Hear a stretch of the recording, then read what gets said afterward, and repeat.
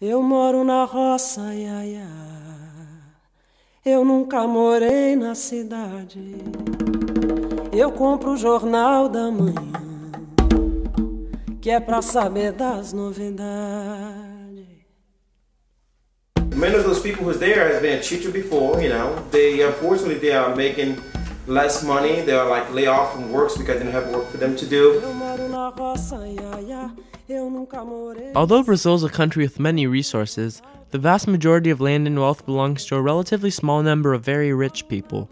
While this is true for most countries, Brazil has the world's second most unequal distribution of wealth. More than two thirds of the arable land is owned by only 3% of the population. Most people in Brazil are poor and landless. Most of the Brazilian countryside is made up of productive farms and ranches, but there are also many parcels of land that have been long neglected by their owners. This once was the ranch house of a large cacao plantation.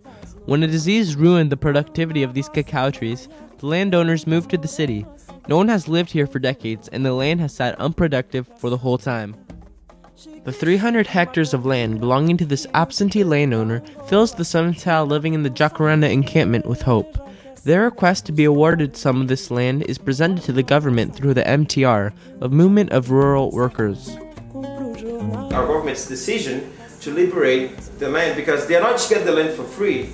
You know, the, the governments come and he buy the land for a much cheaper price for the farmer, and the lands become to the government, and the farmer is out of the picture, so the government can come and share those acres with all the Sem Terra. Claire Cesareo Silva is a professor of anthropology at Saddleback College. She has worked extensively with the Sem Terra in the state of Bahia. Probably my most memorable experience is this last year when I was there doing work with them and was able to actually follow a group from trying to get land, so living on the side of the road, trying to get the government to give them land, to actually winning and getting the land. So the whole sense of you know euphoria when they actually won something and they had put they'd been camping for over five years and then to actually have this to be a part of their success and for them to actually consider me a part of their success was really an exciting thing.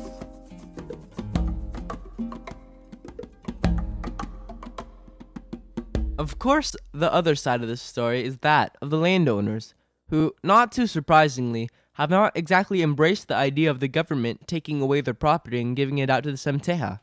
Landowners that don't want their land taken away from them um, will attack, you know, groups of Sem Terras or marches of Sem Terras. April 17, 1996, is known throughout Brazil as the day of the infamous massacre at El Dorado dos Carajás. During a peaceful march on the capital in the northeastern state of Pará, a large group of Sem Terras were fired upon by military police, with 19 people killed and many more injured. The brutal event was captured on videotape and the footage was aired on national television to shocked Brazilian populace. This was an enormous wake up call to the majority of Brazilians, whose awareness of their country had previously extended only between the cities and the beaches, and it galvanized support for the Sem Terras nationwide. On the one year anniversary of the massacre, a march on the national capital, Brasilia, brought over a million supporters from cities and the Sem Terra encampments alike. These were people that were just on a march trying to go from to the capital um, to to demonstrate and ask the government to release some of the land, and they were just shot down in cold blood. Changes in public sentiment toward the poor in general, and the Sem Terra in particular, have resulted in a real change in Brazilian politics. In 2002, Luiz Inácio da Silva, also known as Lula, became Brazil's first leader who was born into the working class. Lula's successful run at the presidency in 2002 after two unsuccessful campaigns was partly due to the support for his political party coming from the Sem Terra movement. Tem o direito de tomar café de manhã, almoçar e jantar todo santo dia. Although the Brazilian government under Lula has greatly increased the number of land awards, the living conditions for the Sem Terra remain the same. Imagine having a temporary, makeshift shelter be your permanent home, sometimes for years on end. Why do they use black plastic sheeting for the houses? Because it's the cheapest thing you can find it. They use plastic because uh, it's a cheap thing, you know, and they um, they prevent for against the rain, you know, but they do not prevent against snake get in. And remember, they are by the side of the freeway, so if there is a car pass by, you know, and somebody, you know, by bad intentionally, throw, you know, decide to throw something like cigarette or something, they that they will catch fire like this, you know. So they put their lives, you know. That's the last hope they have.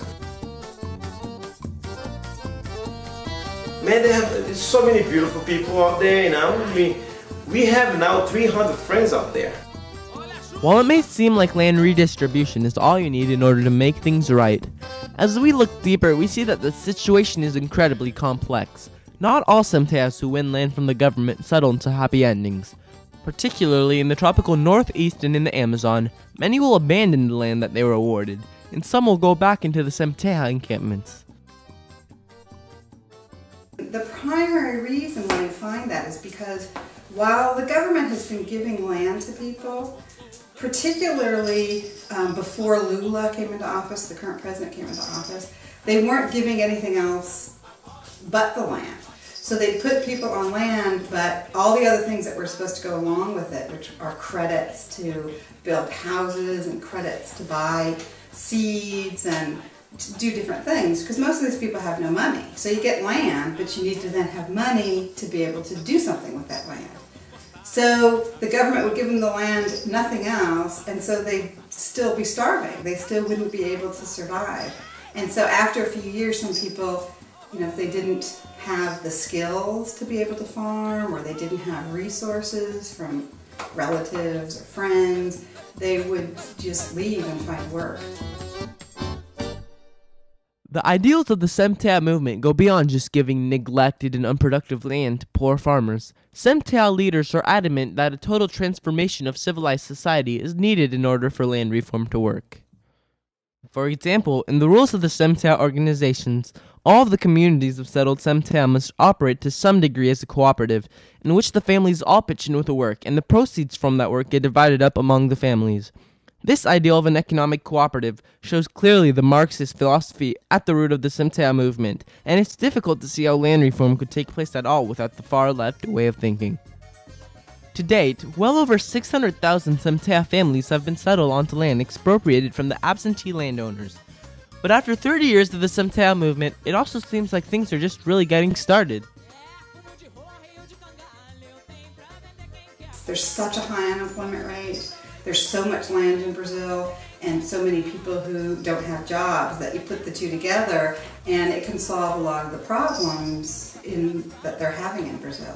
So I see it definitely growing and becoming a, a very important factor. I think agrarian reform where land gets redistributed so that it's not just concentrated in the hands of a few people but is spread out so that a lot of people have land is really the future for the social problems of Brazil and the economy of Brazil. As a country, Brazil is the study in contrasting conflicts, especially between the wealthy and the poor. The enormous inequality between the poor and the rich in Brazil is at the core of many of the country's social problems poverty, crime, and corruption. Compromise is written into the Brazilian constitution, where it says that land has to be used in a way that is productive for all the country. This leads to the Sem Terra movement, which pressures the government to expropriate neglected land and give it to the landless workers. This does not solve all problems, and at times it creates new ones. Still, it seems like an appropriate way to address the foundations of Brazil's deepest problems.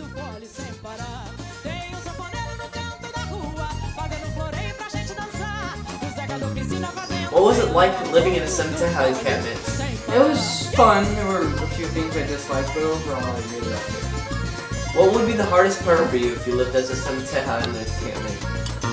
The bugs. I definitely did not like the bugs. They you had to itch at them all the time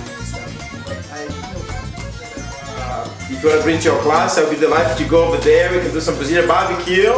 And that's it, man. Thank you.